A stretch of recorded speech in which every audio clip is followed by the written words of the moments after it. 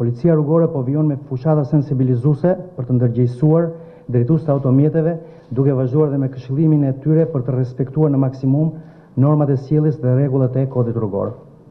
Si rezultat i angazhimit dhe mbulimit më të mirë të akseve rrugore të vendit, por edhe akseve dytësore dhe atyre rurale, si dhe falë masave ndërgjegjësuese të gjithanshme, gjatë muajit korrik dy mijë e tetëmbëdhjetë janë parandaluar ndjeshëm aksidentet rrugore. Janë shpëtuar nëntë jetë njerëzore më shumë se e njëjta periudhë e vitit të kaluar. Ndërkohë, ka patur edhe tridhjetë e tre plagosje të rënda më pak se po e njëjta periudhë e vitit të kaluar. Gjatë javës së fundit, Policia Rrugore ka arrestuar tetëdhjetë e pesë drejtues automjetesh që drejtonin mjetin në gjendje të dehur. Gjithashtu, ka arrestuar edhe njëqind e pesëdhjetë e një drejtues mjeti që qarkullonin pa leje drejtimi.